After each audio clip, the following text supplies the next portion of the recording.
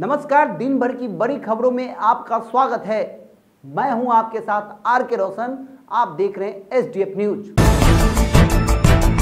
Corona संक्रमण का बढ़ता दायरा सभी के लिए परेशानियों का सबब बनता जा रहा है। दूसरों के मत्थे टिकरा फोड़ने से बेहतर है चिकित्सकों, विशेषज्ञों और कोरोना गाइडलाइन का गंभीरता से अनुपालन कर इसकी भयानक क्षमताओं को समझने की।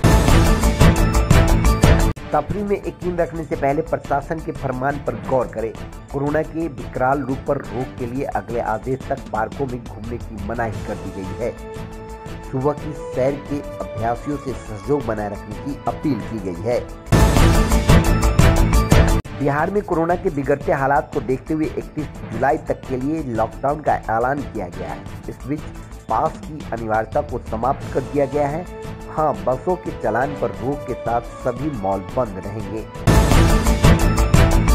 उत्तर बिहार की नदियाँ उफान पर होने के चलते मधुबनी समेत सीतामढ़ी, शिवहर, गोपालगंज, सुपौल, कटिहार के साथ अन्य इलाकों में बाढ़ का पानी फैलने से लोगों की परेशानी बढ़ गई है।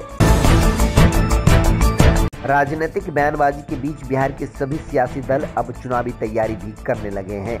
इसी के तहत वर्चुअल की कीबोर्ड व्हाट्सएप ऐप तथा बीब मीडिया के सहारे चुनाव प्रचार भी किया जा रहा है, ताकि जन सरोकार बने रहे।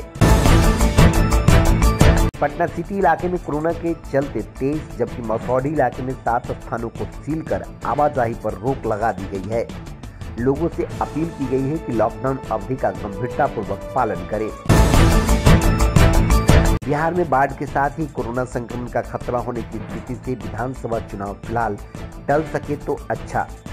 ऐसा नेता प्रतिपक्ष तेजस्वी यादव का मानना है, लेकिन वे यह भी कहते हैं कि यदि फिर भी प्रचार कार्य हो तो उसके लिए पुराने परंपरागत तरीका ही अपनाया जाना चाहिए। इधर जदयू के राष्ट्रीय प्रधान महासचिव के सी त्यागी ने बिहार के विपक्षी दलों के चुनाव टालने जैसी मुहिम को गलत ठहराते हुए कहा है। इसी कोरोना काल में अमेरिका में चुनाव की तैयारियाँ जोरों पर है तो फिर बिहार में क्यों नहीं हो सकता है चुनाव?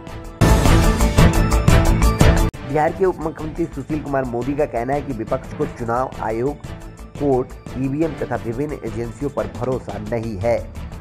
अतीत में कांग्रेस और राजद के द्वारा ही सभी का दुरुपयोग किया गया है। अतः वे ऐसा माहौल बना रहे हैं। विधानसभा अध्यक्ष विजय कुमार चौधरी ने बिहार के कोरोना रिकवरी रेट पर संतोष जताया है, लेकिन उन्होंने यह भी कहा है कि यदि सावधानियाँ बढ़ती गई तो हम लोग इस संक्रमण के दौर से बाहर निकल जाएँगे।